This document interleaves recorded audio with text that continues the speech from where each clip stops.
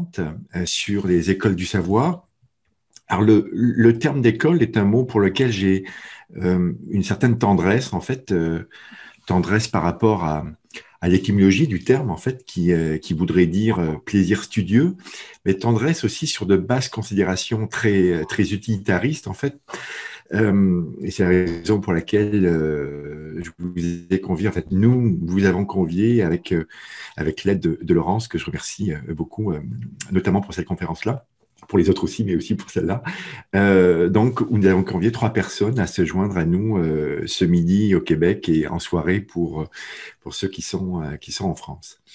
Alors, hum, notre intérêt pour ce phénomène de, sédimentation d'une idée ou de plusieurs idées autour d'un groupe de penseurs est lié à une, croyance peut-être plus déclarée que constatée sur lequel le, le, le centre de recherche que je représente, le CRDP, est une école de la pensée, une école de la normativité dont nous mesurons mal euh, les, spécificités profondes, euh, mais malgré tout, euh, avec peut-être un certain nombrilisme, nous avons quelques velléités à l'appeler École de Montréal.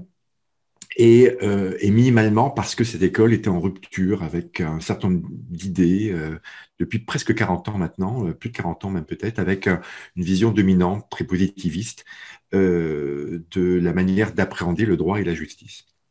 Donc autour de cette, invitation, il y a donc une quête visant à, s'assurer, peut-être se rassurer euh, que l'expression, cette expression d'école de Montréal, n'est pas tout à fait euh, galvaudée et a un, minimum de sens. Alors pour, pour effectuer ce, travail d'identification de ce que nous sommes, et que nous aurons d'ailleurs sans doute l'occasion de, de revisiter euh, en février de 2022, quand on va fêter les 60 ans du CRDP, du Centre de recherche sur la République, le 26, euh, le 26 février, ben, nous, opérons une double comparaison.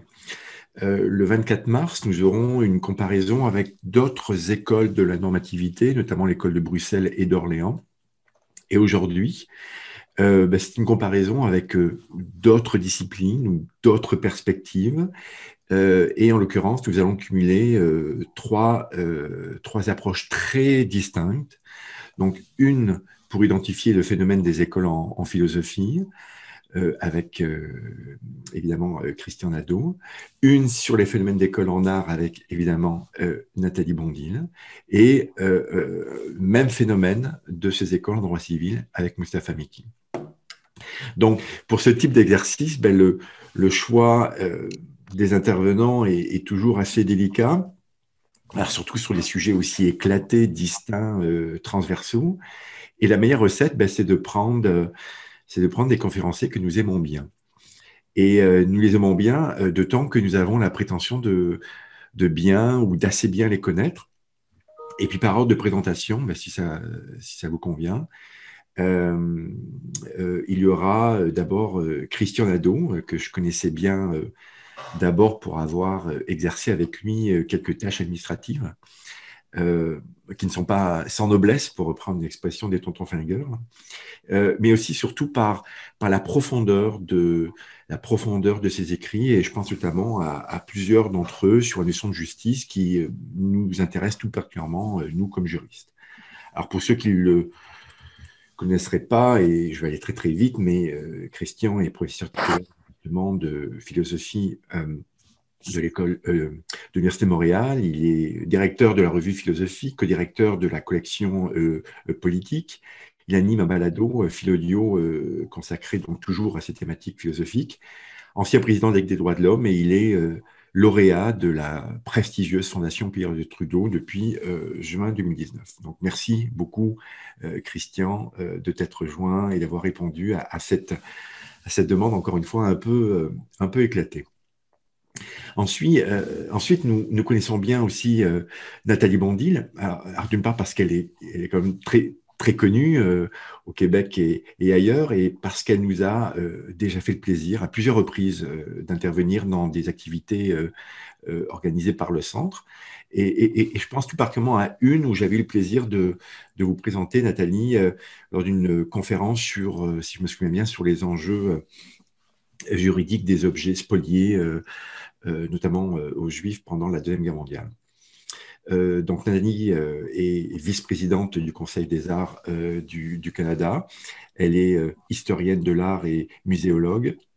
Son action pour renforcer le rôle social et éducatif des musées est, mondialement reconnue et je ne citerai un parmi d'autres, le prix qu'elle a reçu il y a quelques mois de l'International Council of Museums, l'ICOM, euh, du Canada, ainsi que pour l'innovation et la part euh, de la part de l'Association des musées canadiens. Donc, merci beaucoup, encore une fois, Nathalie, de, euh, de, vous joindre à nous et de se prêter à cet exercice, encore une fois, un peu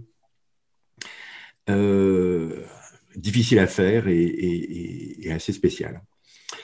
Enfin, je connais également bah, très très bien mon ami et collègue Moustapha Mekini, euh, avec lequel j'ai l'immense privilège euh, de collaborer euh, annuellement, et en fait pluriannuellement, depuis bientôt dix ans. Moustapha est un, un omniscient qui a la gentillesse de répondre positivement à toutes mes sollicitations dans des domaines excessivement éclatés, que ce soit évidemment le droit civil, qui est son champ de départ, mais également la théorie du droit, l'enseignement, euh, l'environnement et tellement d'autres domaines. Donc, euh, merci beaucoup, euh, Mustapha, qui, encore une fois, pour ceux qui ne le connaîtraient pas, est professeur agrégé des, des facultés de droit et professeur de l'Université Paris 13, Paris-Sorbonne Cité. Et il est co-directeur de l'IRDA, donc centre de recherche avec lequel le CRDP a, des liens très, très, très actifs, très très ferme, donc l'Institut de recherche pour un droit attractif. Et euh, donc, merci encore une fois de te plier à, cet exercice un peu ambitieux. Donc, comme vous le voyez, c'est une brochette intervenant euh, pour reprendre une expression euh, très prisée en ce moment dans le monde du hockey, qui a de la profondeur. Et je, je, vous proposerai, si ça, si ça vous convient, si ça vous convient, d'utiliser l'ordre que je vous ai indiqué euh, dans l'ordre de présentation que j'ai préparé ici. Donc Christian en premier lieu, Nathalie et Mustapha. Et peut-être, si ça vous convient, euh, euh, nous aurons le plaisir en fait de recevoir les questions de l'audience, mais peut-être à la fin de la troisième présentation. Je pense qu'on avait établi une vingtaine de minutes par, par présentation, Laurence. Donc, donc voilà, donc Christian, si si ça vous convient, euh, je vous inviterai à, à, commencer, à, commencer le bal. Merci, merci Vincent, merci aux organisateurs, aux organisatrices donc pour cette invitation.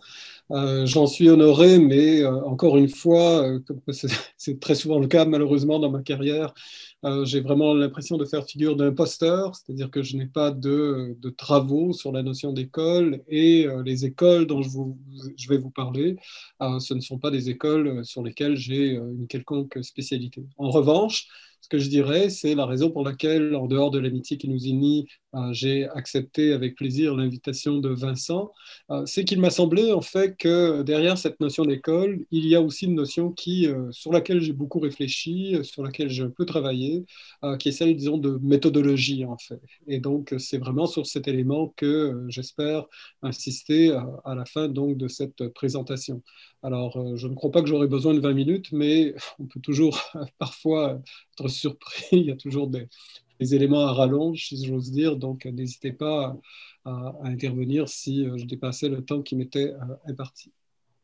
Alors, euh, la première chose à dire, en fait, au sujet des écoles, je dirais, dans le domaine de la philosophie, et je vais faire aussi une excursion, si vous me permettez, dans le domaine de l'histoire des idées, parce qu'il se trouve que par formation, je suis à la fois philosophe, mais j'ai aussi euh, euh, essentiellement travaillé par le passé euh, en histoire des idées plutôt qu'en histoire de philosophie, c'est-à-dire que j'ai une approche philosophique, si vous voulez, d'auteurs qui n'étaient pas considérés ou qui ne sont pas considérés encore aujourd'hui à proprement parler comme des philosophes. Donc je me suis beaucoup intéressé en fait plutôt à la manière dont les concepts euh, et les idées se sont euh, développées, par exemple, dans la période de la Renaissance et de euh, la fin du XVIe siècle jusqu'au XVIIe siècle, notamment sur l'idée de gouvernement, par exemple.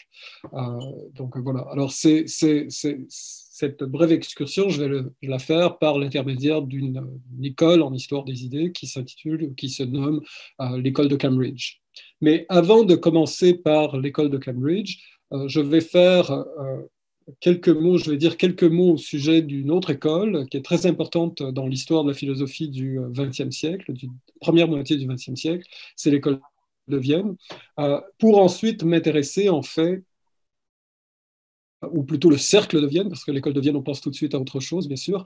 Euh, le cercle de Vienne, donc euh, le groupe associé à ce qu'on appelle le positivisme logique. Et ensuite, je vais m'intéresser à une école qui, elle, revendique ce nom.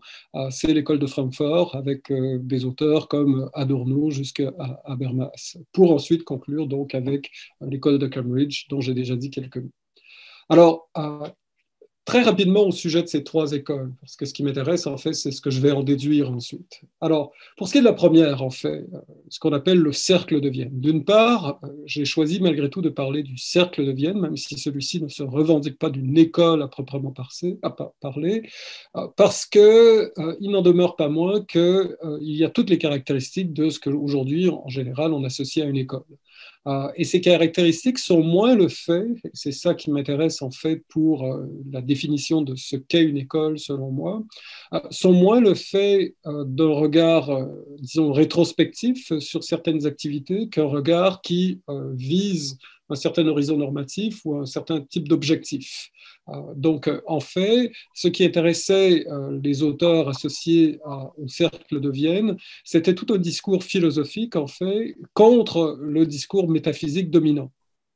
Il faut voir que au début du XXe siècle, en Autriche et en Allemagne, toute une entreprise philosophique de renouveau de la métaphysique ou de critique de la métaphysique, notamment par la phénoménologie, ou encore par exemple par, des, auteurs comme Heidegger, ou encore par ce qu'on a appelé le néocantisme, va être dominante en fait. Donc, ce sont des, des gens qui pensent essentiellement dans la longue tradition de la métaphysique ou de la critique de la métaphysique telle qu'on la retrouve depuis la fin du XVIIIe siècle jusqu'au début du XXe siècle. Or, l'école ou le cercle de Vienne s'oppose à cette manière de voir les choses parce qu'elle considère en fait que les propositions métaphysiques euh, sont purement spéculatives qu'elles sont purement spéculatives et que, en fait, euh, elles reposent sur des énoncés qui ne sont pas vérifiables pour le cercle de Vienne, en fait, il y a deux catégories d'objets sur lesquels le discours philosophique peut intervenir. Une première essentiellement qui est d'ordre logique. Par exemple,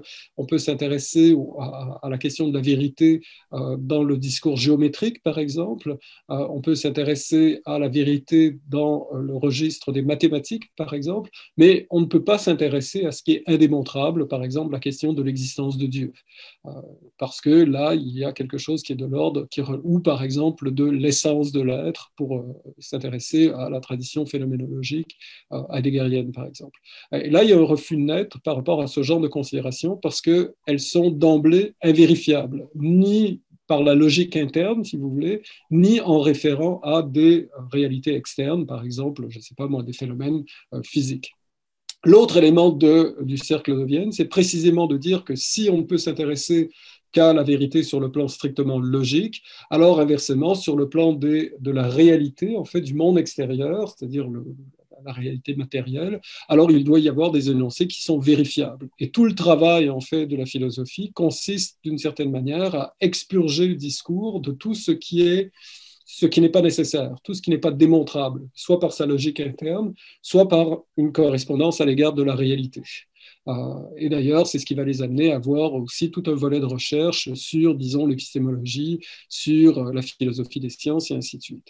Alors, euh, ce qui est intéressant de ce, groupe d'auteurs, en fait, c'est que, à la limite, parfois, leurs thèses sont très proches, d'autres ne le sont pas du tout. Il y a différents types d'influences, mais il y a ce que Wittgenstein appellerait, disons, des, des aires de famille, en fait. Et ces aires de famille m'apparaissent surtout liées à un projet commun, à une espèce de, tâche commune. Et je crois en fait que ce qui est intéressant, c'est que lorsqu'on s'intéresse à la question de l'école, la plupart du temps, en fait, on se réfère, on a deux conceptions de l'école, soit justement l'école comme par exemple ce lieu où on va apprendre un contenu fixe euh, qui est donné selon des méthodes pédagogiques différentes, soit au contraire, et je crois que c'est ça qui est très important et qui fait en sorte que le vocable même d'école peut paraître un peu surprenant parce qu'il se détache de nos intuitions, soit en fait l'école est moins liée à la transmission de contenu ou d'une connaissance fixe plutôt qu'à un projet de recherche d'une certaine manière, à une manière, disons, de euh, promouvoir une certaine représentation de la connaissance ou de l'appropriation de la connaissance.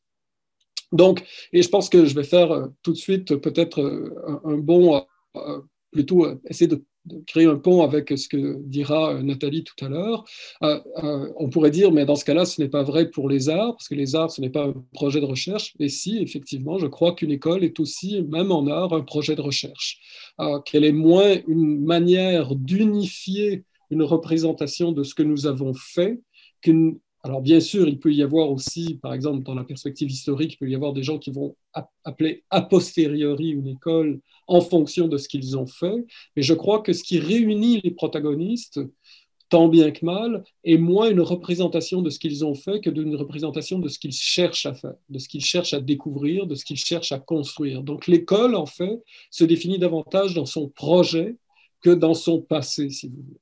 Alors, une autre manière de, présenter les choses, c'est euh, l'école dite de Francfort. Alors, euh, l'école de Francfort, comme vous le savez, c'est une école qui apparaît d'ailleurs à peu près en même temps que euh, le Cercle de Vienne. Le Cercle de Vienne remonte à peu près au début des années 20, 1923, sa création, ça, disons ça.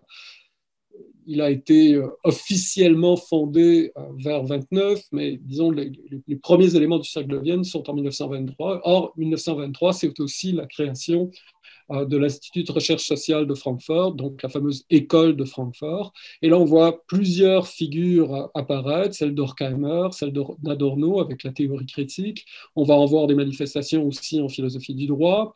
On va en voir ensuite euh, une réélaboration à partir, par exemple, de l'œuvre d'Habermas, une autre réélaboration à partir de l'œuvre d'Axel Honneth, par exemple, euh, et différentes figures. Mais encore une fois, ce qui est important, c'est que, il me semble, malgré certains traits de continuité, malgré, disons, l'espèce de fil rouge qui permettrait de dire que oui, il y a quelque chose d'Adorno dans, euh, par exemple, Axel Honneth, euh, ou même des représentants plus contemporains encore, il n'en demeure pas moins que je dirais que il s'agit davantage de se poser la question du projet, en fait. Et il me semble que ce qui m'apparaît le plus flagrant, c'est vraiment le projet initial, tel qu'il a été ensuite développé en différentes étapes, c'est-à-dire une critique du capitalisme sous toutes ses formes, en fait. Une critique du capitalisme à la fois dans le langage, dans la logique marchande, dans la manière dont on, pour employer l'expression d'Habermas, on colonise le monde vécu, c'est-à-dire à, la manière dont on instrumentalise euh, l'ensemble des référents du monde de façon telle à ce que euh, nous sommes, d'une certaine manière, piégés par une, rationalité marchande, si j'ose dire. et donc, on va retrouver ce même genre de thème et toujours avec l'idée, encore une fois, que cette critique du capitalisme n'est pas simplement un exposé spéculatif qui vise à décrire le monde, mais à le comprendre pour le transformer. Donc il y a vraiment cette idée, et ça c'est l'héritage, je dirais, disons, l'arrière-plan marxiste de, la, de l'école de Francfort, il y a vraiment l'idée selon laquelle, en fait, il ne suffit pas de penser le monde, il faut le transformer. Euh, donc, euh, et, ce sont, euh, c'est la raison pour laquelle aussi cette école est très très très proche. C'est une école philosophique qui est très très proche aussi des sciences sociales, précisément parce que le but est d'intégrer des éléments des réalités sociales et du discours de la sociologie afin de transformer l'univers social, politique, économique qui est le nôtre. Enfin, dernière école, j'espère ne pas avoir déjà dépassé mon temps, mais j'irai très vite. Dernière école, l'école dite de Cambridge. Alors, là, c'est très différent, en fait. Comme j'ai annoncé, c'est une école qui est en histoire des idées et dont on va retrouver les travaux essentiellement à partir de l'œuvre de euh, quelqu'un qui s'appelle John Pocock, qui va euh, travailler beaucoup, en fait, euh, à la reformulation de notre manière de penser l'histoire de la philosophie politique et des idées politiques, je dirais, de la Renaissance ou de la fin du Moyen Âge jusqu'au moins au XIXe siècle. Et quelle est la thèse centrale de Pocock En fait, Pocock regarde l'univers intellectuel qui est le sien, qui lui est contemporain, et il remarque en fait que deux modalités sont en train de comment dire, se départager la représentation du passé. Une première qui serait essentiellement marxiste, un discours marxiste sur, donc, qui, regarde les, les, thèses du passé toujours à l'aune en fait de ce qui peut conduire au marxisme d'une certaine manière, et une autre au contraire qui regarde la philosophie euh, politique à l'aune du libéralisme, qui cherche en fait des jalons fondateurs, des jalons qui vont marquer jusqu'au développement euh, de, des, principales euh, théories libérales, par exemple chez John Locke. Et Pocock dit en fait, on ne voit pas, lorsqu'on interroge en fonction de ces seuls paradigmes, on n'arrive pas à voir comment parlent les textes. Et les, les textes parlent en fonction de contexte, discursif. Et là, c'est très important. Ce qui l'intéresse, en fait, c'est de mettre en place les textes, non pas simplement par rapport à un contexte qui serait matériel, par exemple, je ne sais pas moi, qui règne à tel moment ou ce genre de choses, mais plutôt de s'intéresser, en fait, à l'histoire des idées comme une espèce d'ensemble de, de dialogue. Et celui qui va récupérer cette thèse et vraiment la bonifier et en faire un vrai programme méthodologique, c'est Quentin Skinner, par exemple. Skinner va écrire très jeune une série de textes sur la méthode en histoire des idées, ce qu'il appelle le meaning and context, où en gros il nous dit, je vais reprendre un des exemples les plus connus, que si nous voyons par exemple un écriteau où euh, est inscrit euh, ici la glace est mince, eh bien cet écriteau n'a absolument pas le même sens selon qu'on le voit l'été ou l'hiver. Euh, voir l'écriteau ici la glace est mince n'a absolument pas le même contexte en fonction du lieu où il est interprété. Mais ce lieu est toujours en rapport à des éléments discursifs, c'est-à-dire des lieux d'échange. En fait. Et qu'est-ce que ça signifie pour l'école de Cambridge? Et ça c'est très important, c'est que le contexte ne détermine pas le sens. Il est une interrogation, il est un un, point de départ pour essayer de comprendre le sens. Puisque les auteurs du passé font partie de ce contexte. Ils ne sont pas simplement les produits de ce contexte, ils sont les constituteurs, si vous voulez, ils sont constitutifs de ce contexte. Dès lors, on ne peut pas penser, par exemple, que euh, l'apparition d'un discours, comme par exemple le discours politique de Toussaint l'ouverture, euh, par exemple, serait commandé d'une certaine manière par les événements, comme si l'histoire euh, de l'esclavagisme allait conduire inéluctablement à la figure de Toussaint l'ouverture, par exemple. Non, il y a vraiment une réaction par rapport à quelque chose, et donc ça, ne suppose pas que les individus ou les textes du passé ou les idées du passé doivent être analysés de manière, disons, euh, comme s'il s'agissait d'atomes sans porte ni fenêtre, mais bien au contraire, en fait, comme une série d'interactions euh, qui euh, va mobiliser donc un ensemble, un arsenal de moyens méthodologiques pour les mettre au jour. Alors là encore, en fait, il y a d'énormes différences dans l'école de Cambridge euh, entre les différents protagonistes de cette école. Mais ce qui est intéressant, en fait, c'est le projet qu'ils ont. Et là, on voit en fait qu'il y a véritablement quelque chose comme euh, des objectifs communs. Donc, pour euh, résumer mon propos, parce que j'aurais pu prendre aussi d'autres écoles de pensée, ah, mais je pense que le but de cette euh, rencontre, le but de cette discussion, c'est de comprendre le sens de la notion d'école. Est-ce que euh, est-ce que c'est simplement une épithète à la limite commode, mais qui ne veut pas dire grand-chose Eh bien, si j'essayais, pour ma part, de lui donner un sens, j'y verrais davantage quelque chose comme un projet commun, des objectifs communs, qui bien sûr vont être interprétés en fonction de différents registres à l'intérieur d'une même école. Euh, donc, en fait, euh, ce qui est intéressant, c'est de voir comment euh, un projet devient quelque chose comme une grammaire commune ou un ensemble de référents communs, un une boîte à outils commune, si vous voulez, parce que le projet lui-même suppose en fait que certains outils sont moins, comment dire, moins utiles ou pertinents que d'autres. Et tout le travail, en fait, des protagonistes des écoles, quels qu'ils soient, sera de vérifier si ces outils sont conformes à la logique du projet, si vous voulez. Alors, pour le dire autrement, vous savez, j'imagine qu'il y a plusieurs personnes qui sont dans le milieu universitaire ici. Euh, combien de fois nous voyons, par exemple, des projets de maîtrise ou de doctorat dont on ne voit pas exactement quel est l'enjeu ou l'objectif? Eh bien, c'est précisément ce qui fait en sorte que parfois on a beaucoup de mal à voir si la méthode qui est employée, si les moyens qui sont mis à disposition euh, de, de l'étudiant, de l'étudiante sont appropriés. Euh, je dirais qu'on a quelque chose de semblable en fait dans les écoles, c'est-à-dire toute la question est de voir quels sont ses objectifs, est-ce que les stratégies sont conformes. Et c'est ce qui permet de voir que parfois des membres d'une école qui sont associés historiquement à une école ne devraient peut-être pas l'être, pas simplement parce qu'ils euh, n'ont pas exactement les mêmes stratégies, mais on voit en fait qu'ils n'ont pas du tout les mêmes objectifs que ce que nous pourrions rencontrer au centre de, cette école. Donc si on devait faire un, espèce de tri pour voir qui fait partie de l'école de X, j'irais davantage du côté en fait des stratégies liées à des objectifs particuliers ou à des objectifs communs. Voilà, je vous remercie.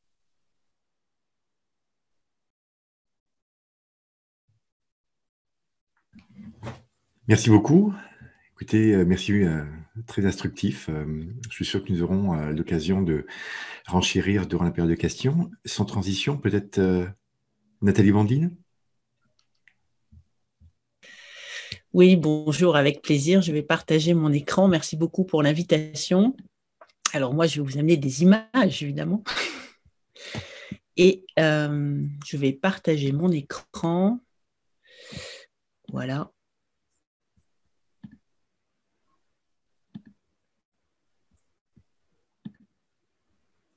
Est-ce que. Excusez-moi. Et là? Et voilà. Est-ce que c'est bon? C'est parfait. Formidable.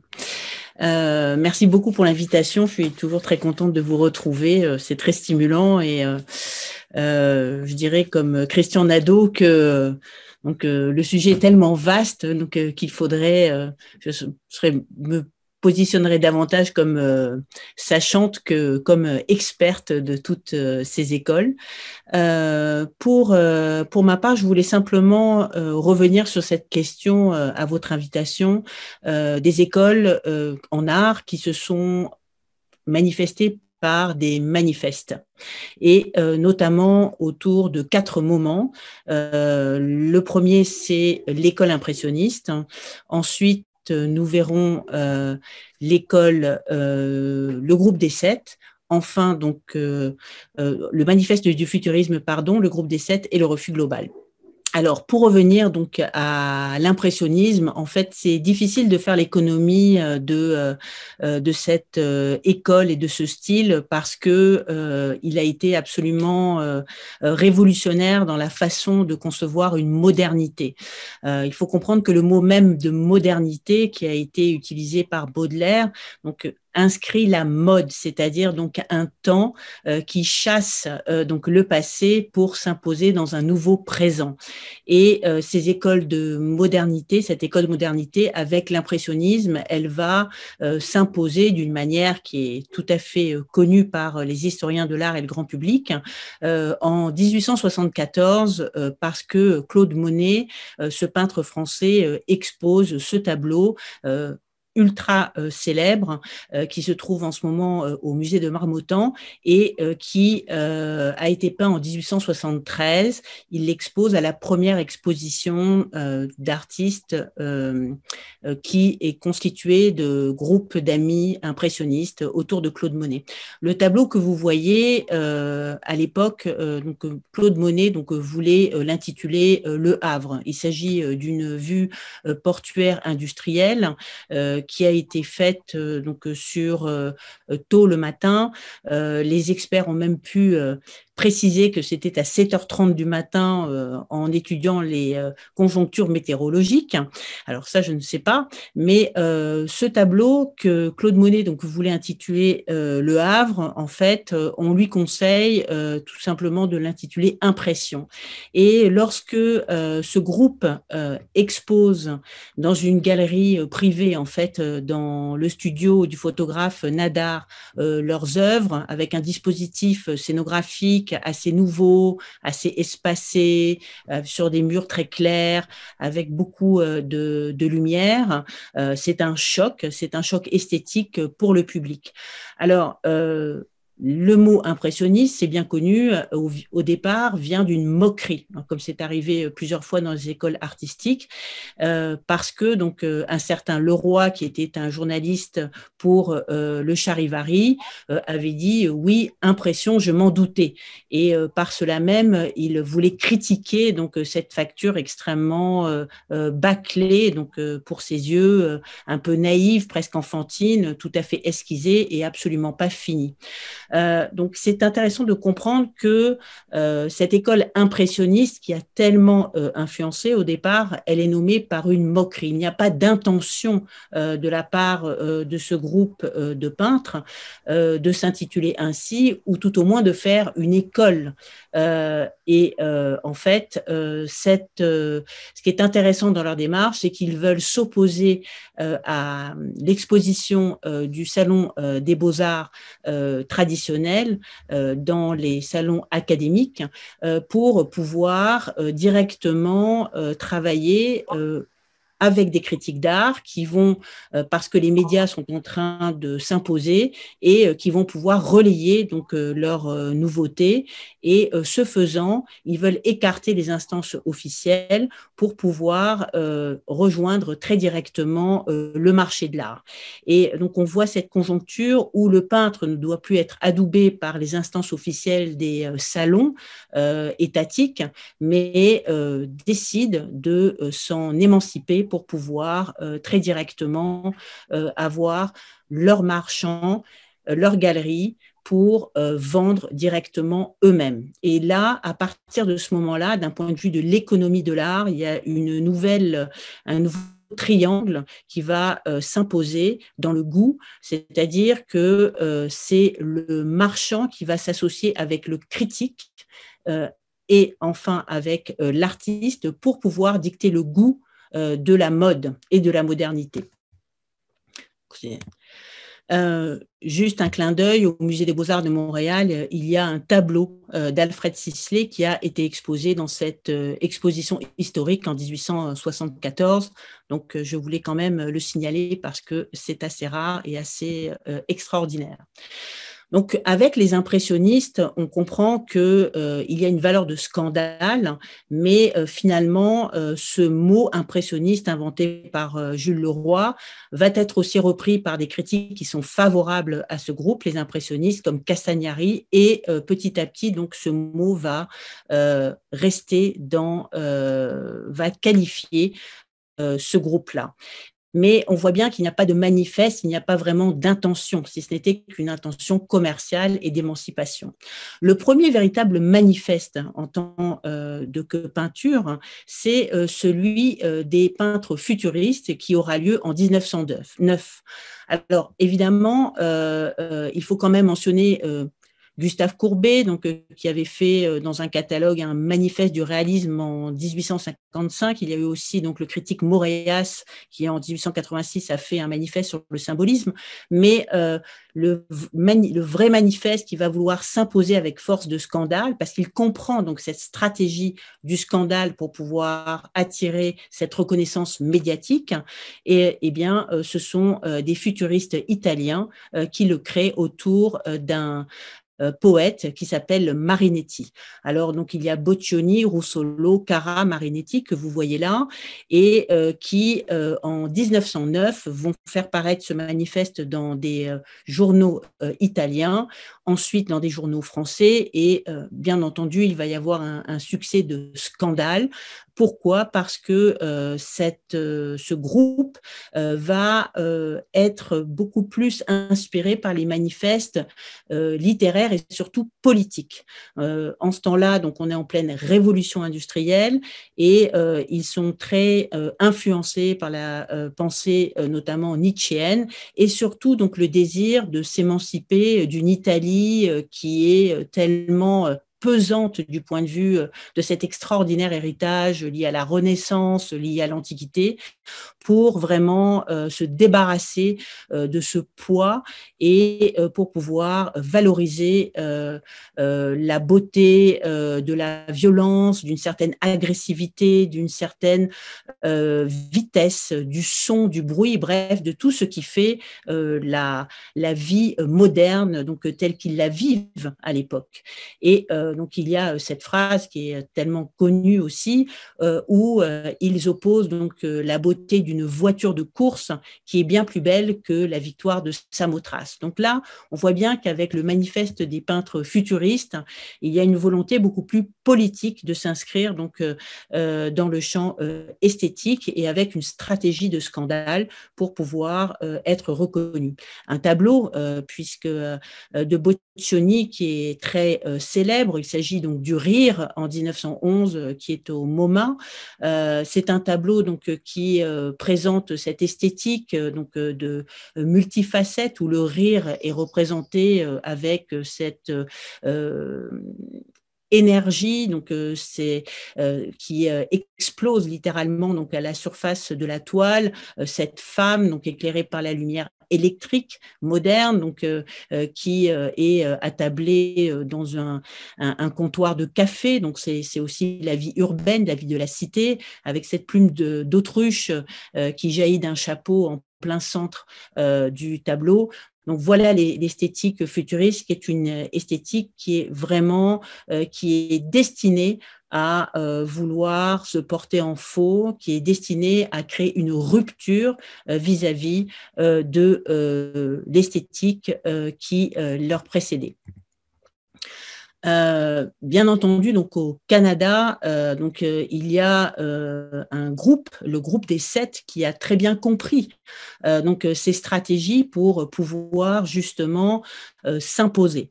Alors le groupe des sept, en fait, tel que il va exister, il va s'affirmer en 1920, mais c'est vraiment à partir de Tom Thompson qui va être une figure tutélaire du groupe qui malheureusement va mourir en 1917 avant la création euh, euh, du, groupe en 1920, euh, que ce groupe va vraiment commencer à prendre forme. ce qui est très intéressant dans le cas du groupe des sept, c'est que on voit là encore une fois une volonté de rupture qui s'appuie sur une stratégie bien comprise. Au départ, donc une volonté de rupture de peintres canadiens, donc qui sont dans un pays assez jeune, des peintres d'Ontario, et qui veulent affirmer la possibilité de faire une peinture canadienne et euh, et non pas donc de, référer à tout ce que les collectionneurs de l'époque aimaient, tout ce que les galeries présentaient, c'est-à-dire donc les, les, peintures de maîtres anciens ou la peinture européenne, notamment française impressionniste, qui était extrêmement euh, connus. Donc, euh, ils vont euh, néanmoins donc s'inspirer de peintres post-impressionnistes tels que Gauguin, tels que donc Émile Bernard, donc du style poisonniste, mais c'est surtout donc l'école scandinave, donc à Buffalo en 1912, qui va les impressionner et qui va leur surtout leur montrer qu'on est capable de créer une peinture propre, une peinture nationale, sans être pour autant dans les marges des, grands centres artistique et de celui de Paris, bien entendu, en ce début du XXe siècle. Euh, c'est intéressant parce que ce mouvement nationaliste, il existe aussi au Mexique avec Dr. Atoll, il existe dans beaucoup de pays qui commencent justement à se libérer euh, de cette tutelle euh, de l'école, des, écoles européennes et surtout françaises. Alors, dans leur stratégie, donc il y a ce groupe des sept va décidé de s'affirmer en, euh, en tant que groupe en 1920 lors d'une exposition célébrissime au Musée des beaux-arts de l'Ontario.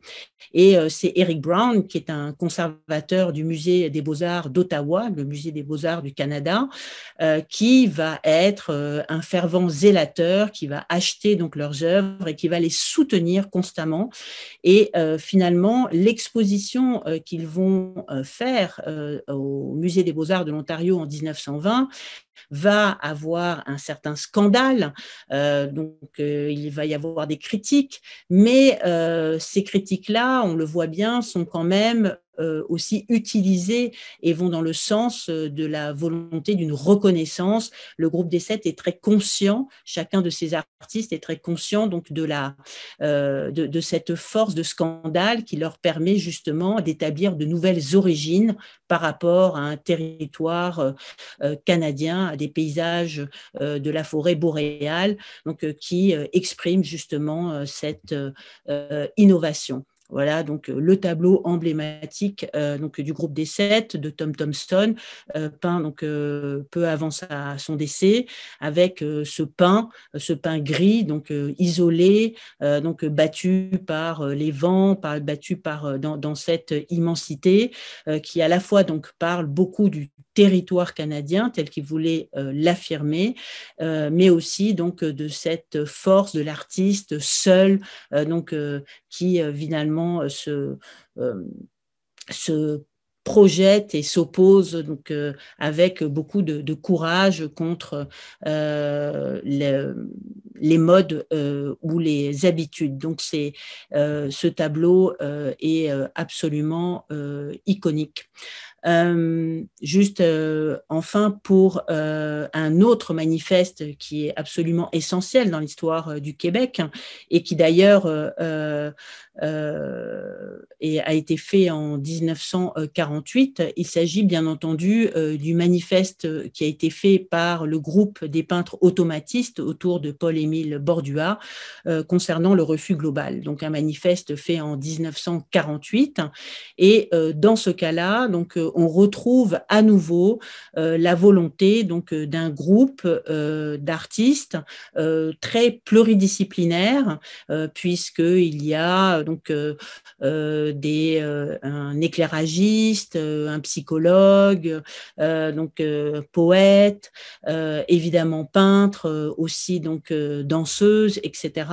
Donc un groupe très pluridisciplinaire qui va vouloir et là avec un point de vue beaucoup plus social. Évidemment, Paul-Émile Bordua à l'époque travaille à l'école du meuble, il est professeur et il a une quarantaine d'années et euh, avec le duc, euh, qui en a une trentaine, ils vont réunir donc un, groupe de, personnes euh, qui sont tous dans la vingtaine, qui sont très très jeunes et qui vont décider donc de participer et de signer ce refus global. La préface donc a été faite par Paul-Émile Bordua qui donc va le payer cher puisqu'en fait il sera démis de ses fonctions, il sera obligé de partir aux États-Unis.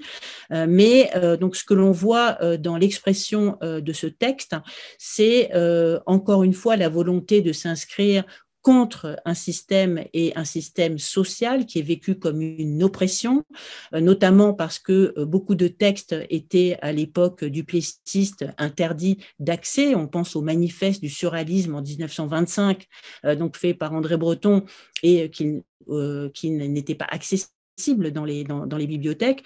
Donc, euh, ils veulent vraiment euh, donc, euh, montrer leur, un désir de liberté par rapport donc, à une société qu'ils considèrent comme étant oppressive et justement pour pouvoir s'exprimer en tant qu'artiste, qu'en tant qu'artiste libre. Il n'y a pas tant euh, d'indications de, style, contrairement au groupe des sept ou contrairement au futurisme. Et c'est plutôt donc une invitation donc à créer, à aimer euh, en toute liberté dans une société donc euh, qui est très réfractaire donc à l'innovation. dans ce sens-là, donc Jean-Paul Riopel qui avec sa femme donc Françoise Riopel, femme de l'époque donc faisait partie du refus global. D'ailleurs, il faut le noter que parmi les 15 signataires donc il y a sept femmes donc cette presque parité était tout à fait remarquable à l'époque et tout à fait nouvelle.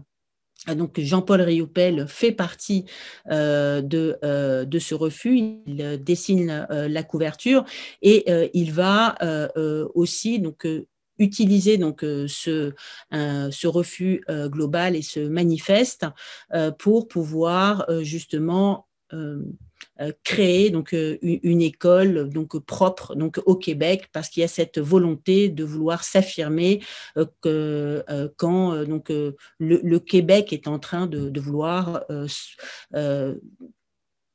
sortir. Donc, euh, ce sont les prémices de la Révolution tranquille et donc euh, c'est euh, cette, cette volonté de pouvoir affirmer donc une peinture propre et un style propre au Québec, aux Canadiens français évidemment à l'époque. Jean-Paul Riopel et là je terminerai sur cette œuvre tout à fait sensationnelle.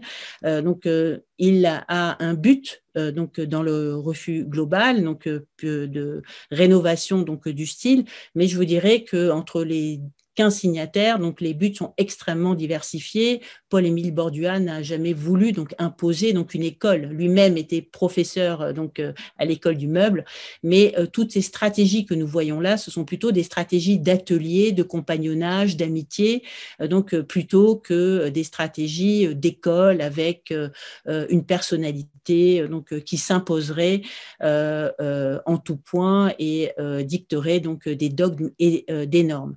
Ce tableau que vous voyez là, donc, est exposé en ce moment au Musée des Beaux-Arts de Montréal. Il s'agit d'un immense tableau qui est restauré pour, et remontré pour la première fois depuis des décennies, qui est prêté par le Centre national des arts plastiques à Paris. Et le tableau avait été donné par le gouvernement canadien donc, à la France au moment de l'ouverture de l'Opéra Bastille. et donc, on voit aussi comment donc, la force d'un peintre et, d'un grand tableau donc, devient manifeste aussi d'une identité nationale, puisque c'était le gouvernement Mulroney, si je ne me trompe pas, donc, qui avait fait cette décision. Et donc, on, peut voir comment finalement ces différents manifestes en rupture de leur, euh, euh, de leur époque ou de leur style?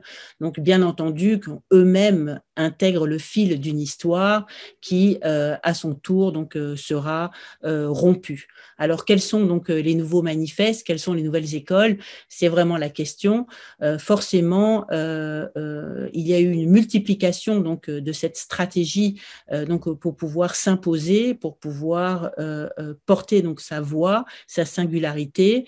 Euh, et euh, peut-être qu'avec euh, la question autochtone ou avec donc cette formidable créativité culturelle des minorités, notamment à Montréal donc, ou au Canada, donc il y aura de nouveaux manifestes à, à, découvrir et c'est bien ce que j'espère. Voilà, donc c'était ma petite présentation. Merci beaucoup. Écoutez, c'est passionnant parce que le sujet est passionnant, euh, mais c'est passionnant aussi parce que d'ores et déjà, là, juste avec deux perspectives, on voit des, des lieux communs, euh, on voit euh, peut-être quelques différences aussi entre les écoles philosophiques et les écoles de l'art, et donc c'est ce dont euh, sûrement nous parlerons après la présentation de Mustapha Mekir. maintenant, avec la perspective juridique. Merci beaucoup, Nathalie Bandil, pour. C'était passionnant. Merci. Mustapha? Oui, merci Vincent. Euh, bonsoir à tous. Alors je, devrais te remercier parce que l'usage veut qu'on remercie celui qui nous invite et qui nous propose d'intervenir à, un colloque de ce type, mais j'ai pas vraiment envie de te remercier. Le, sujet est extrêmement, d'abord extrêmement large, mais extrêmement compliqué, euh, notamment pour un juriste français, puisque, et on y arrivera assez rapidement, euh, le juriste français pense qu'il qu'il exprime à lui seul une doctrine, en tout cas c'est la position de certains, et qui n'a pas besoin de se rattacher à un groupe, à un ensemble, ni même à un collègue, et que sa pensée en tant que telle est déjà constitutive euh, d'une école. Enfin, il, y a, cette idée finalement qu'on est tous, on est tous euh, une école euh, en étant finalement un penseur, un penseur du roi. Alors, je vais essayer tout de même de répondre, de répondre à la question en émettant surtout des hypothèses, parce que parce que le sujet est quand même euh, relativement complexe. Euh, d'abord, rapidement, à, titre introductif, pour, quelles raisons est-ce que en droit français, puisque je me limiterai au droit français, même si je donnerai des exemples en, dehors du droit français, mais je pense qu'il est difficile de penser une école en, dehors d'un contexte, euh, en dehors d'une culture.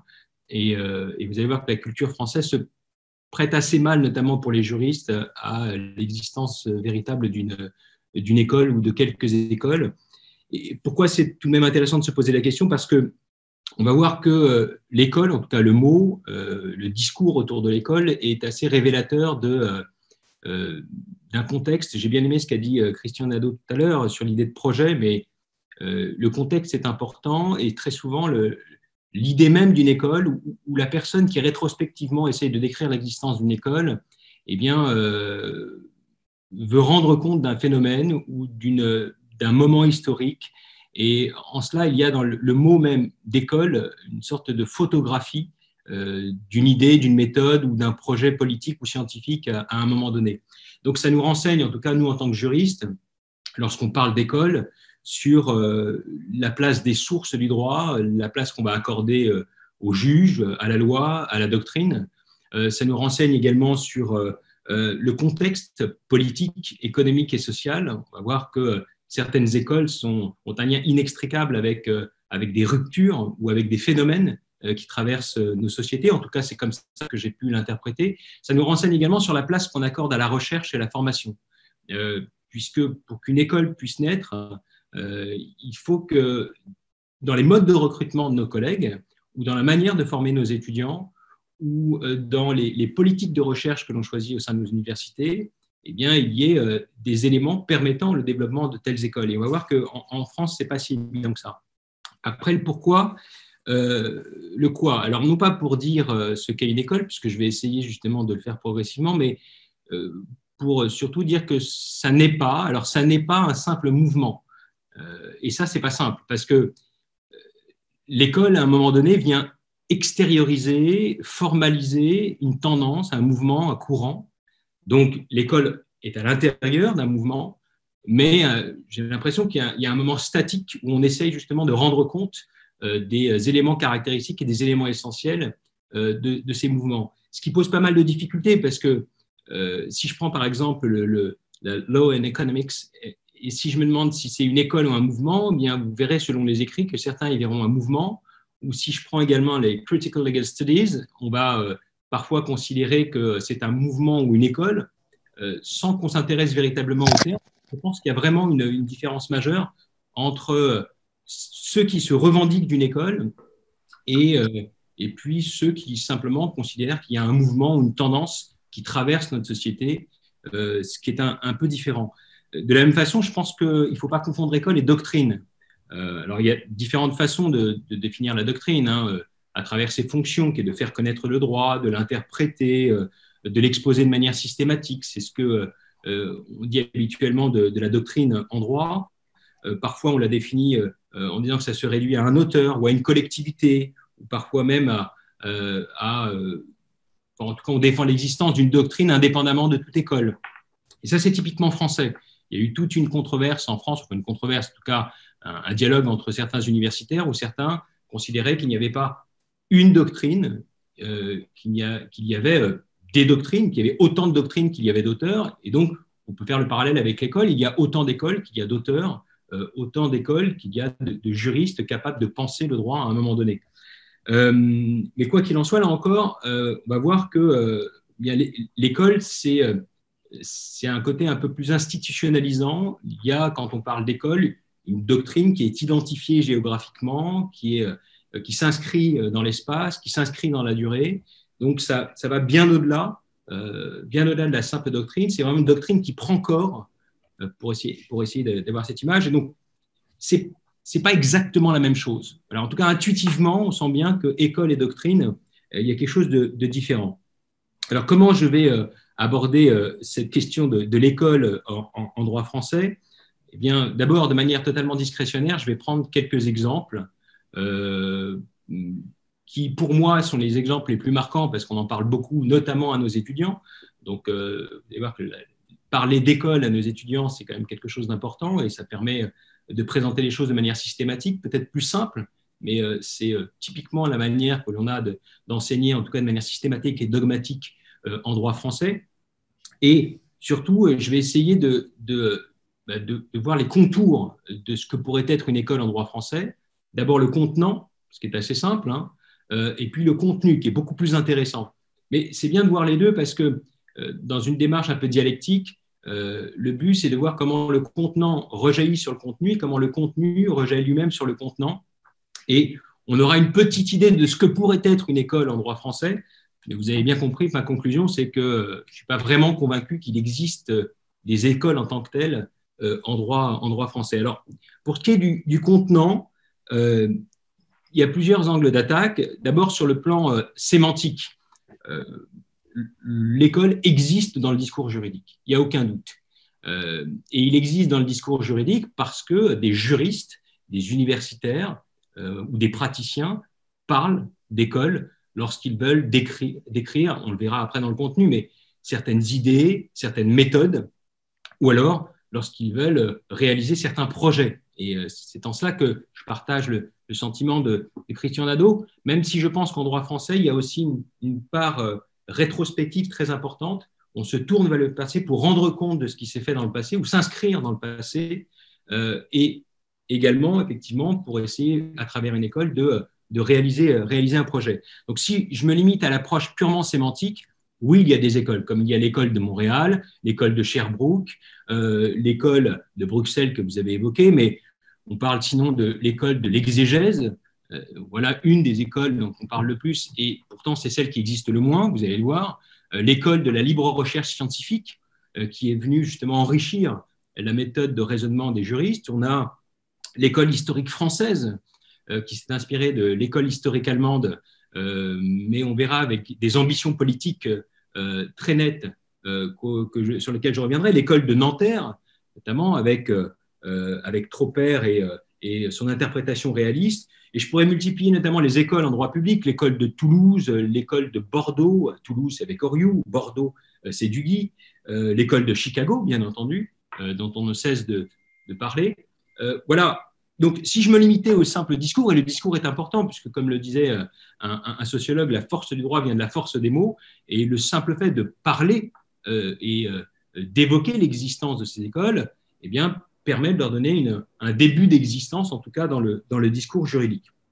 Alors, toujours dans cette approche du contenant, il y a une approche qui n'est plus sémantique, mais sociologique. C'est-à-dire que une école, euh, intuitivement, et, ce ne sont que des hypothèses que j'aimais, hein, et, je pense que c'est surtout pour lancer le débat et la discussion, mais une école, c'est d'abord un groupe. Ça suppose qu'il y ait un groupe, parce que si on est tout seul, alors on peut être bipolaire ou schizophrène, et dans ce cas-là, on est au moins deux, et on constitue, quand on n'est pas tout seul dans sa tête, effectivement, une école à soi tout seul, euh, seul, mais dans l'hypothèse qui est la mienne, un groupe suppose au moins deux personnes.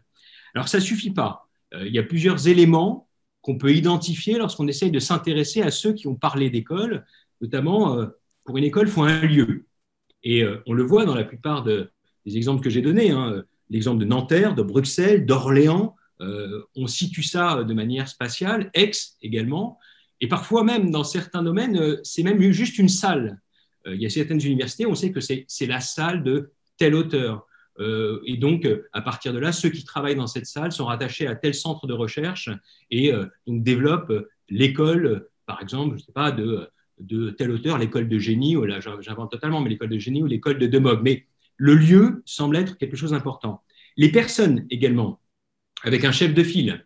Quand on parle d'une école, on parle immédiatement de celui qui en est, a priori, à l'origine. Alors on ne sait jamais si c'est vraiment lui qui est le premier avoir pensé de cette manière, mais c'est celui qui, en tout cas, s'est euh, affirmé en tant que tel et euh, a donné lieu ensuite, on verra, à une filiation. Euh, on pense par exemple à Génie pour l'école de la libre recherche scientifique, à Tropper pour l'interprétation réaliste, à Perelman pour l'école de Bruxelles, à Thibierge, Catherine Thibierge pour Orléans, à Lalonde pour Sherbrooke, je ne les connais pas tous, ou Champeau pour l'école de Rennes. voilà, il y, a, quelques exemples où, c'est toujours un, nom qui est rattaché, et là c'est purement sociologique, hein, et bien sûr, ce chef de file suppose qu'après, il y ait une filiation. Euh, parce que si l'école meurt avec lui, ça devient rarement une école. Et on le voit, il y a toujours une filiation. Un Tropper, finalement, s'est rattaché à Kelsen. Euh, Perelman, eh bien, il a, eu, euh, il a des disciples aujourd'hui, notamment avec Friedman. Quand on prend Champeau, il y a eu avant Despax et Payusso. Donc, voilà, je crois que c'est s'inscrire comme ça dans une filiation, sociologiquement, c'est déjà les premiers signes d'une école. Alors ça ne suffit pas, il faut aussi s'inscrire dans le temps et dans l'espace. Parce que vous avez des personnes qui ont des idées géniales, des idées extraordinaires, mais si elles ne s'inscrivent pas dans la durée, elles ne peuvent pas faire naître une école. Il y a un exemple en particulier sur lequel je reviendrai souvent, qui est celui de René de Mogg. René de Mogg avait développé une, on pouvait même parler de l'école nihiliste, c'est-à-dire qu'il s'était inspiré, certains disent, notamment les Critical Legal Studies sont revenus sur les travaux de René de Mogg, et, euh, et cette idée de tout relativiser en disant que les classifications, les distinctions, tout ça ne tient pas et que la réalité est toujours beaucoup plus complexe. Euh, et, de dire finalement que le droit n'est rien, euh, on peut en faire ce qu'on veut, un artefact. Eh bien, ça, ça, a fait peur à un moment donné à certains auteurs, notamment à Génie et à toute, euh, toute son époque. Et donc, on a, on a voulu isoler René de Mogg. Et finalement, René de Mogg a écrit des choses extraordinaires pendant quelques années, mais comme on l'a étouffé, puisque c'est l'ensemble de la collectivité des juristes euh, qui ne voulait absolument pas de ces idées qui remettaient en cause le travail du juriste, ce travail de systématisation, de classification, eh bien, on l'a isolé. Et donc, le fait de l'isoler, eh bien, il n'y a pas eu d'école de René de Moll. Alors après, on a fait renaître ses écrits, mais je crois que quand on est tout seul et qu'on ne s'inscrit pas dans la durée, eh bien, c'est un obstacle à la, à la naissance d'une telle école. De la même façon, il faut s'inscrire dans l'espace. Et donc, euh, l'école eh bien, naît très souvent de, du fait qu'elle soit exportée, qu'on parle de, de l'école, par exemple, d'Orléans. On ne parlait pas d'école d'Orléans en France, mais euh, à Montréal, avec Vincent Gautret, euh, souvent, il a parlé de l'école d'Orléans. et puis petit à petit, finalement, notamment l'école de Bruxelles, si elle est devenue l'école de Bruxelles, c'est parce qu'elle a eu un, succès international au-delà des frontières de, de, la Belgique. Alors, pour qu'il y ait une école, c'est bien aussi d'avoir une revue. Parce que quand vous avez, par exemple, la revue Thémis, qui est née euh, euh, au début du XXe siècle, ou encore la revue, euh, la revue de, jurisprudence civile, la revue trimestrielle de droit civil aujourd'hui, eh bien, c'était aussi une, autre méthode, une autre démarche, et ça, ça, permet de concrétiser toujours dans l'aspect sociologique l'existence d'une école. Puis sociologiquement, si vous voulez une école, il faut une, un centre de recherche qui développe un projet, qui constitue une équipe. Il faut que dans la formation eh bien, vous formiez des disciples. Euh, dans le mode de recrutement, vous recrutez des personnes qui travaillent sur les mêmes sujets avec les, mêmes objectifs, en tout cas scientifiques. Et, euh, et ça, ce n'est pas évident, notamment, on le verra euh, dans le système français, où l'organisation du système français de l'université n'encourage pas le développement de cette relation de maître à disciple, cette relation de filiation qui est à l'origine d'une école. Donc, sur le premier aspect, sur le contenant, sur le plan sémantique, oui, le mot est utilisé assez fréquemment. Euh, sociologiquement, oui, on peut relever des éléments qui permettent de dire que euh, des écoles se caractérisent par un groupe, un ensemble de personnes, un chef de file et une filiation.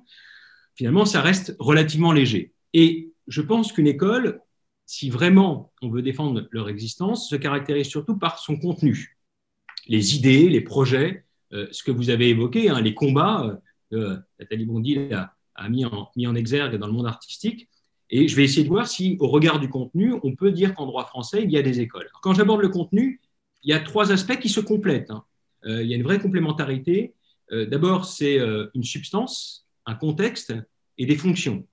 Alors, si je prends l'idée de substance, ce, celui qui revendique l'existence ou son appartenance à une école met souvent en avant soit une méthode, soit des, idées, voire parfois une idéologie.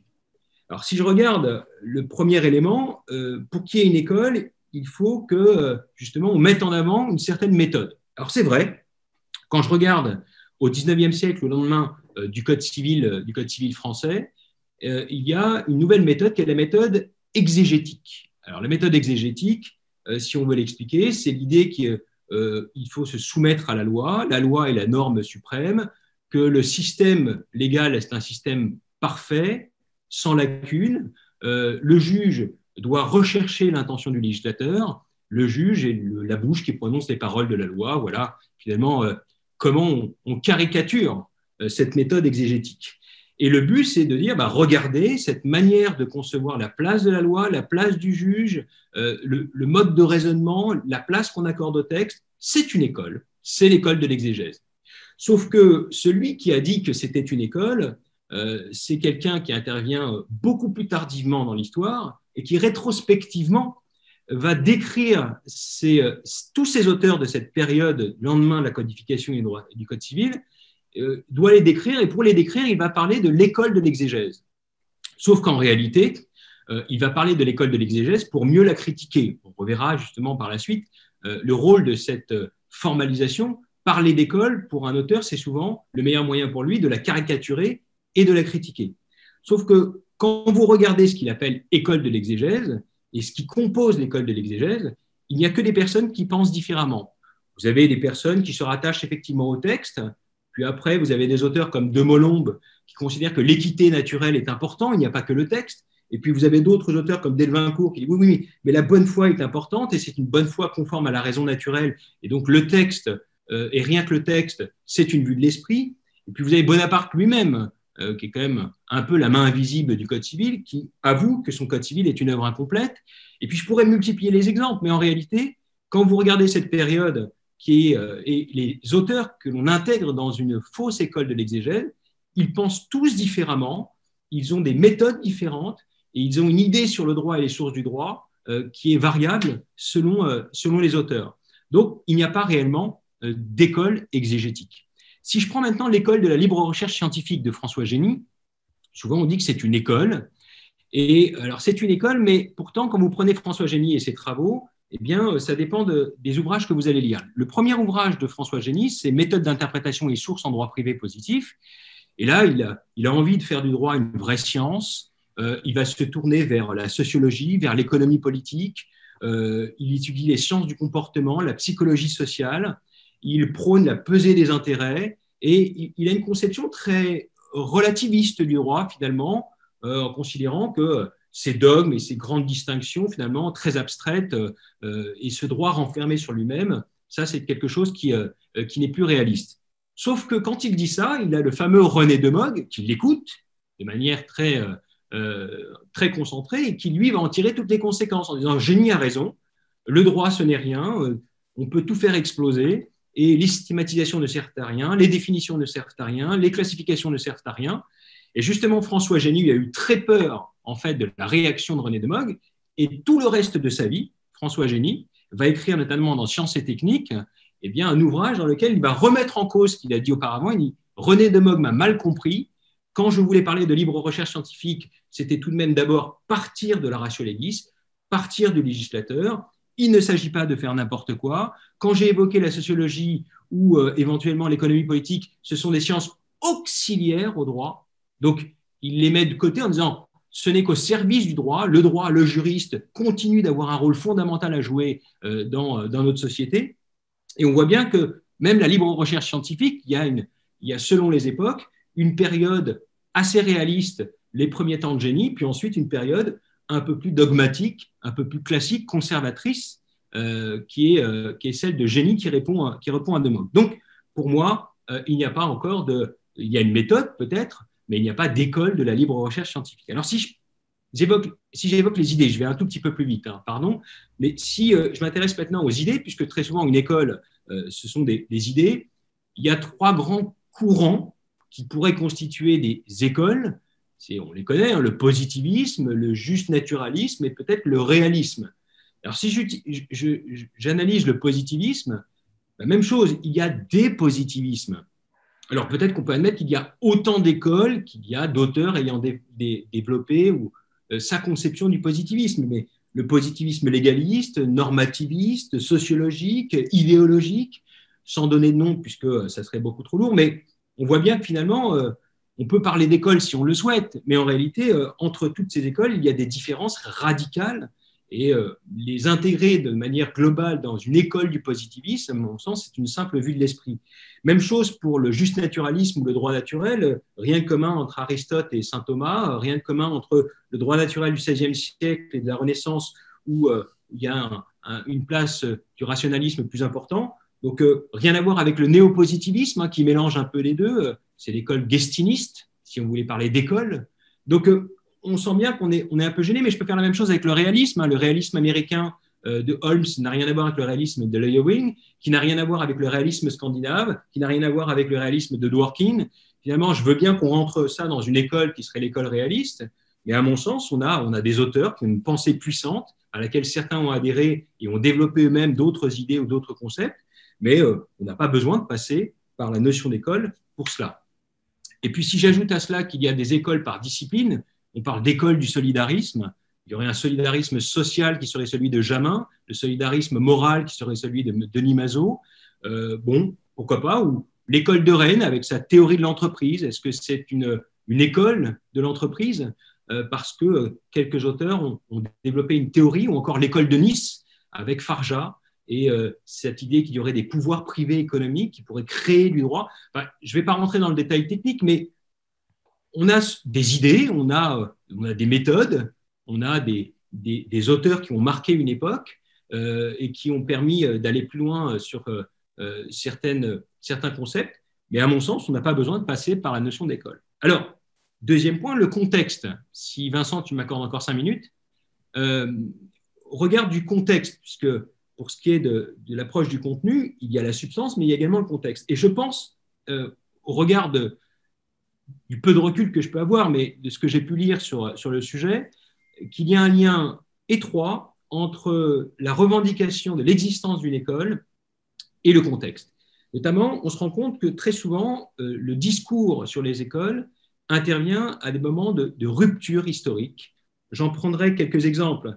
Si je prends l'école de l'exégèse, c'est parce qu'à un moment donné, on a ressenti le besoin, euh, au lendemain de la codification, de faire prévaloir l'unité nationale, le légalisme, le besoin de stabilité euh, que symbolisait le Code civil.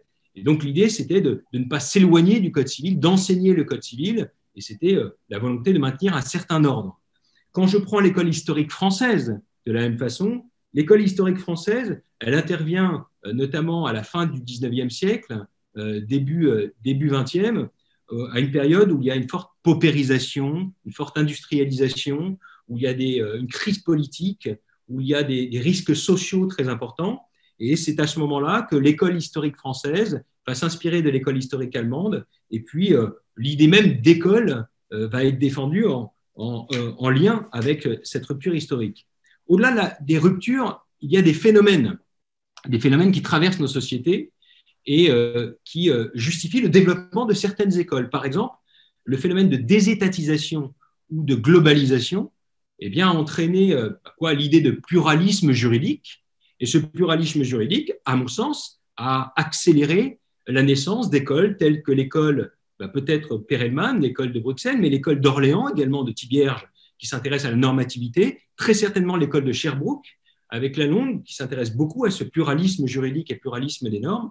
Si je prends le phénomène, un autre phénomène qui est celui de la fondamentalisation du droit, le fait de penser euh, l'ensemble des droits comme des droits fondamentaux qui se retrouvent en conflit, eh bien, on a dû repenser le droit, euh, le droit comme euh, un droit relatif où il faut opérer une balance des intérêts, une proportionnalité entre les droits qu'on ne peut pas hiérarchiser. Eh bien, des écoles de ce type, les écoles qui, qui prônent cette méthode qui est la balance des intérêts, elle est étroitement liée à ce mouvement de fondamentalisation du droit.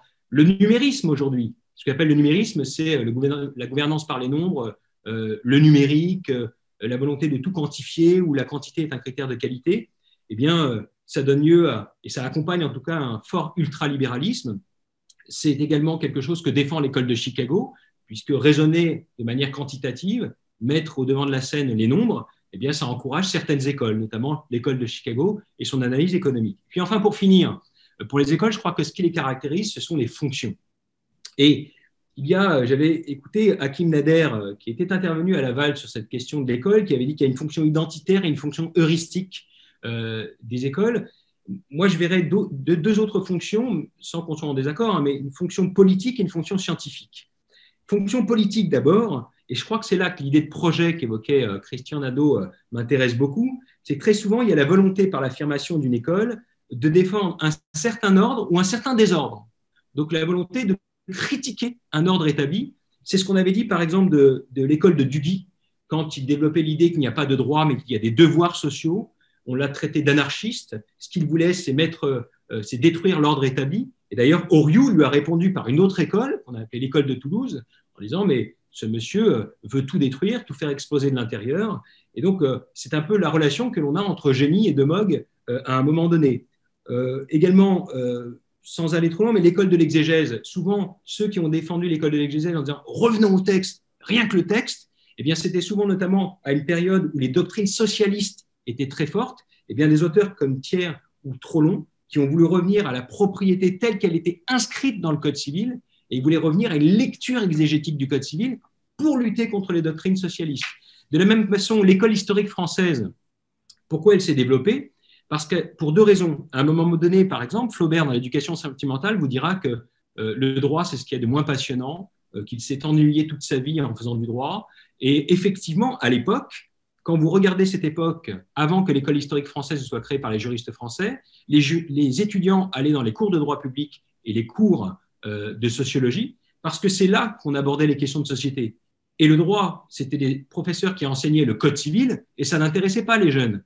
Et donc, à un moment donné, et c'est un fait historique, à un moment donné, les juristes français privatistes se sont dit il faut qu'on ait une autre méthode, il faut qu'on crée une autre école, une école plus sexy pour pouvoir attirer les étudiants. Et de la même façon, politiquement, ils se sont rendus compte que les juristes privatistes eh bien, étaient moins influents auprès des politiques. Parce que les politiques de l'époque, notamment à la fin du 19e, début 20e, eh bien, sont intéressés par Durkheim, par l'idée de troisième voie, de socialisme, la question sociale. Donc ils se tournent vers les sociologues, pas vers les juristes. Et Saleil et d'autres auteurs se disent il faut qu'on s'intéresse à la question. Il faut qu'on arrête d'étudier uniquement la loi. Étudions par exemple la jurisprudence, parce que les juges sont plus proches de la réalité sociale. Et ainsi, nous allons peut-être intéresser de nouveau nos politiques. Donc, c'était le pouvoir par le savoir. Donc, je ne vais pas multiplier les exemples pour la fonction politique et je finirai sur la fonction scientifique. Elle est importante. Alors, parfois, euh, c'est du scientisme, c'est-à-dire qu'on va, on va caricaturer une école pour mieux la critiquer. C'est ce qu'avait fait Emmanuel Gounod avec la théorie de l'autonomie de la volonté, disant qu'il y avait une école qui défendait l'autonomie de la volonté. C'est ce qu'a fait également, je vous l'ai dit, Bonnecase avec euh, l'école de l'exégèse, qui n'a jamais existé, mais ça lui permettait de caricaturer pour mieux critiquer. Mais au-delà de ça, euh, il y a souvent l'idée, et ça, on ne peut pas le nier, que quand on s'inscrit dans une école, eh bien, on peut utiliser l'école comme un, un porte-voix. C'est-à-dire que penser tout seul, c'est toujours moins puissant que penser de manière collective. Et donc, on a toujours tendance à se rattacher à une école pour finalement, ou éventuellement, à, s'opposer à une école, pour renforcer sa propre position. Et ce qu'on a retrouvé de, nombreuses fois euh, dans euh, en tout cas dans la, doctrine, la doctrine française. Il y a aussi dans l'école et la fonction scientifique une fonction pédagogique, explicative.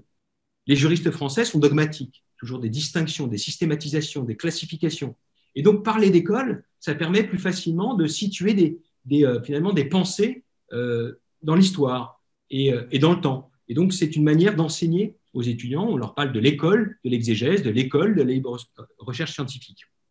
Alors voilà en quelques mots mon sentiment. Et mon sentiment, pour conclure, c'est que euh, je ne suis pas sûr que la France euh, et le système français euh, soient prêts à, accueillir l'idée qu'il existerait des écoles. D'abord parce que la recherche en France reste encore très individuelle. et on a une conception de, de l'universitaire quand même au cœur quand même de la constitution des écoles qui, est, qui est assez incompatible. D'abord parce que si vous prenez des systèmes étrangers en Europe, euh, vous ne devenez prof qu'après avoir travaillé euh, de nombreuses années avec un, maître, et c'est ce maître qui vous fait travailler sur un certain nombre de projets, et euh, petit à petit, eh bien, il vous reconnaît en tant que, disciple, et puis vous, avez un poste, vous êtes recruté dans son université, au sein de son centre de recherche, parce que vous partagez ces centres d'intérêt, ces recherches. Ça, ça n'existe pas. Ça existe très peu en France, parce qu'en France, avec le concours d'agrégation, vous sortez, vous soutenez votre thèse et immédiatement après, eh bien, vous pouvez devenir professeur agrégé et vous pouvez penser librement. Et ce que vous pensez sera considéré comme de la doctrine, plus ou moins bonne qualité, mais en tout cas, vous n'avez pas besoin de vous rattacher à une école, vous n'avez pas besoin d'avoir un maître, vous n'avez pas besoin d'être le disciple de quelqu'un. Et ça, c'est quelque chose que j'apprécie particulièrement dans le système français. Également, quand vous êtes recruté, vous n'êtes pas recruté parce que vous adhérez aux idées de celui qui est euh, à la tête du centre de recherche, mais tout simplement parce que euh, vous, êtes, euh, vous avez été qualifié éventuellement par un organe extérieur qui est le CNU, et cet organe fait de vous un maître de conférence qui vous permet ensuite d'être recruté. Ou alors vous êtes recruté pour vos qualités, mais non pas parce que vous partagez les idées de celui qui est le référent euh, au sein d'une université. La liberté académique également chez nous a une valeur constitutionnelle. On peut dire presque n'importe quoi et on n'a rien à craindre. Parfois même de, de grosses bêtises et on ne sera même pas poursuivi pénalement ou euh, devant les tribunaux. Parfois même tenir des propos qui sont à la limite euh, de la frontière pénale et, et, ne rien craindre parce que vous êtes protégé par votre liberté académique. Pour revenir sur des sujets plus sérieux, la liberté académique est très importante en France et donc vous pouvez penser ce que vous voulez. Vous n'avez pas besoin finalement de penser comme les autres et, et c'est en tout cas l'un des fondements qui justifie qu'on on puisse se développer une doctrine, une théorie ou des idées sans se rattacher à une école. Alors, en réalité, je pense qu'il y a une école, mais cette école, c'est l'école française. Et euh, l'école française, c'est celle qui crée des théories générales, qui fait des plans de partie, qui donne des cours d'amphi et des travaux dirigés, qui aime la controverse, qui tient à sa liberté académique et, euh, et qui ne veut absolument pas qu'on puisse l'intégrer dans une collectivité. Donc, s'il y a une école en droit français, ça serait l'école française du droit et non pas les écoles en droit français. Voilà, merci. J'ai été trop long, je suis sincèrement désolé.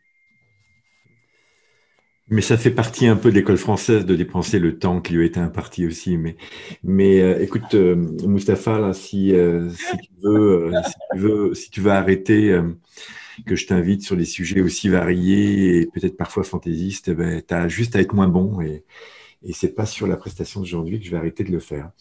écoutez, je trouvais ça très intéressant, encore une fois, du fait des des tendances, des, euh, des, lieux communs qui ont été en mesure d'écouter, euh, à la suite de vos trois, euh, de trois présentations. J'en vois sur les éléments de rupture, de porte-à-faux, euh, rupture aussi en lien avec les revendications qui sont faites, rupture aussi par le dénigrement qui peut être fait par autrui relativement à un courant en particulier. Dans, les trois domaines, il y a assurément des lieux communs qui étaient euh, facile à identifier, des différences aussi euh, assez, assez notables. Peut-être une différence, je ne sais pas si ça vous ferait réagir, mais des trois présentations, la plus collective, c'est l'art. Euh, en tout cas, dans les exemples qui nous ont été donnés, où véritablement, que ce soit en philo ou en droit, on, voyait un meneur, en fait, on voyait une construction hiérarchique beaucoup plus forte que, en tout cas, encore une fois, avec une connaissance assez assez, assez, euh, assez lointaine euh, des, milieux artistiques, mais qui, en tout cas, qui transparaissaient dans la présentation de Nathalie, où véritablement c'était des phénomènes de groupe euh, qui semblaient qui semblaient Alors, je ne sais pas si, si, vous voulez réagir sur les interventions des. déjà, là, je lance, je lance la main peut-être à, Christian et, Nathalie s'ils ont une réaction. Il nous reste à peu près 7-8 minutes. Hein, pour, pour... Puis après, on va, on va, on va tendre la main aussi vers, vers l'audience, euh, évidemment. Nathalie, ou euh, je ne sais pas si tu veux commencer, puis après je prendrai le relais. Oui, euh, oh, juste une, petite réflexion après avoir écouté Mustapha et Christian. effectivement, donc c'est cette question du pluralisme qui finalement ouvre donc le concept même de l'école qui est refermé donc sur une globalisation que l'on vit. Et je dirais que hum, je, n'ai pas parlé donc du sens des écoles en art telles qu'on peut les visiter dans des musées traditionnels, euh, l'école italienne de peinture, l'école française de peinture, euh, l'école euh, allemande de peinture ou flamande, etc. Donc ce sont des, des, processus taxinomiques pour pouvoir organiser donc l'histoire de l'art d'un point de vue territorial, donc comme l'a dit Mustapha, et d'un mais ce que l'on voit euh, de ces anciens classements euh, de musées traditionnels, si je puis dire, et qui demeurent dans énormément d'institutions par ailleurs, euh, c'est donc le, fait que plutôt que d'avoir donc euh, ce système par silo, euh, on est euh, dans un éclatement de l'école avec une véritable porosité, transversalité, horizontalité, donc qui répond à, notre époque où on va inviter d'autres disciplines, on va imaginer d'autres disruptions, d'autres dialogues, d'autres rencontres, et ce qui fait que le concept même d'école, donc éclate. Euh, donc, euh, sous la pression euh, de la multiplicité de, perspectives que l'on peut avoir ou qui demandent donc à se faire entendre sur le concept même d'école. Alors oui, enfin, c'est un utile pour organiser, donc inventorier, mais effectivement, donc c'est un concept qui doit toujours être dépassé euh, à l'heure actuelle dans mon domaine parce que donc euh, il ne correspond plus du tout à euh, donc la façon dont on envisage l'art et, et l'organisation donc des collections dans un musée. Voilà. Merci beaucoup, Christian.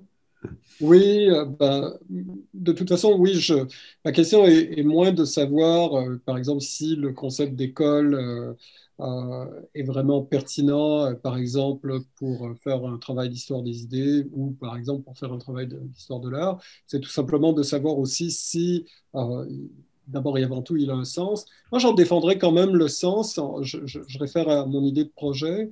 Euh, euh, je, suis assez euh, en désaccord avec un certain nombre de choses qu'a dit, qu'a dit Mustafa Miki, parce que, d'une part, il me semble que ça, la manière dont il a fait le, paysage du, droit français, en dehors d'être très local, c'est-à-dire que chaque micro-municipalité a sa, propre école de droit, ça devient ça devient peu caricatural, euh, mais aussi euh, le, fait en fait que euh, ce n'est pas parce qu'il y a des ismes où il y a, disons, certaines représentations, par exemple le positivisme, le, droit naturel, etc., que ça fait partie de ce que nous pourrions appeler une école en tant que telle. En tout cas, ça m'apparaît une drôle manière de se représenter. Euh, et euh, là où je suis peut-être plus sensible aux propos de, Nathalie, euh, c'est dans l'idée selon laquelle il y aura quelque chose comme une solidarité de groupe à l'égard d'un projet. C'est-à-dire que justement, même si les méthodes sont différentes, même si la, la, manière d'incarner le projet est différente. Euh, ce qui m'apparaît important, en fait, c'est que là où il y a une solidarité de groupe, et pas nécessairement par la figure d'un leader d'ailleurs, euh, souvent même c'est plutôt presque en, opposition à celui qui tenterait ou à celle qui tenterait de, de, s'imposer, c'est davantage par rapport à une certaine démarche d'esprit, en fait. Donc vraiment quelque chose qui consiste à dire, voilà ce que nous pouvons accepter, voilà vers ce, quoi, ce que nous voulons développer, voilà je dirais, vers quelle porte voulons-nous ouvrir d'une certaine manière Donc, euh, c'est comme ça que je le verrais.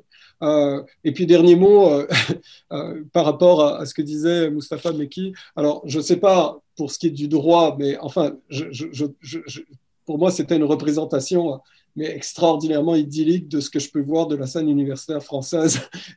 s'il y a un endroit où je ne vois pas de liberté académique, s'il y a un endroit où il y a une espèce de mandarinat, s'il y a un endroit où en fait la décision relève finalement de quelques autorités, et s'il y a un endroit qui m'apparaît le, comble de l'absurde, c'est bien le CNU, euh, où on va développer des, catégories en relation finalement, de, encore une fois, de mandarinat. S'il y a un endroit où la recherche est paralysée, notamment en sciences sociales, en sciences humaines, c'est bien la France où certes la recherche est peut-être plus individuelle, mais où l'idée même d'évaluation par les pairs n'a à peu près aucun sens, ou en tout cas commence à peine à avoir un sens depuis une quinzaine d'années.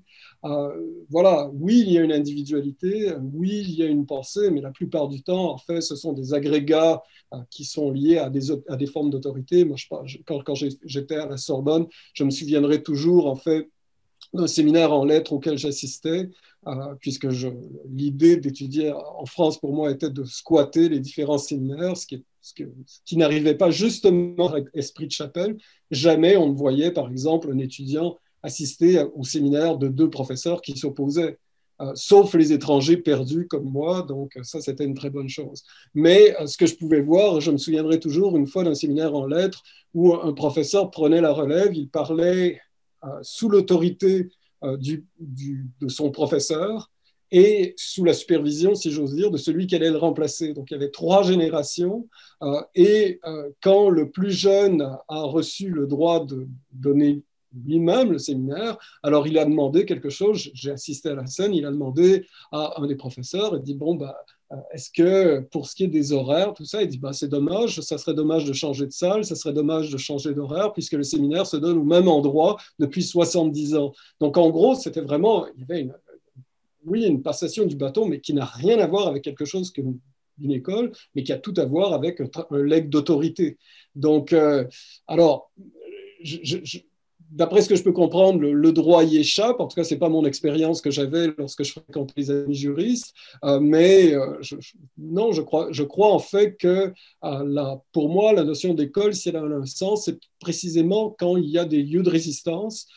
et malheureusement, parfois, ces lieux de résistance deviennent aussi des lieux de domination. Je pense par exemple à à des gens qui ont au départ travaillé dans le sillage de Bourdieu, mais qui sont ensuite devenus, y compris Bourdieu lui-même, de, de, véritables mandarins. Et je pense que c'est vrai pour euh, différentes figures qui apparaissent comme des figures de résistance, mais dont on regarde rétrospectivement le travail, notamment à l'intérieur des universités, et qui se comportent véritablement comme des mandarins, c'est-à-dire essentiellement comme des gens pour lesquels la discussion se fait en fonction de repères d'autorité. Et ça, je crois que ça, malheureusement, c'est vraiment le, je veux dire, ce qui paralyse en fait l'idée que l'université est un laboratoire en fait, et un laboratoire commun.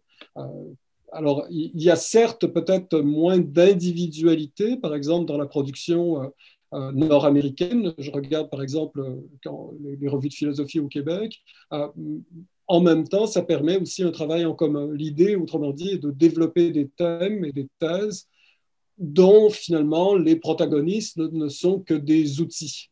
Ils ne sont pas des, euh, disons, le, cœur de la démarche. Et ça, je trouve ça assez en fait. Euh, j'aime bien voir une discipline évoluer moins en fonction de figures tutélaires que de parcours d'idées, en fait. Un peu comme justement si c'était euh, ces, différents auteurs n'étaient que des touches de couleur dans un même tableau. Encore une fois, pour faire un clin d'œil à Nathalie.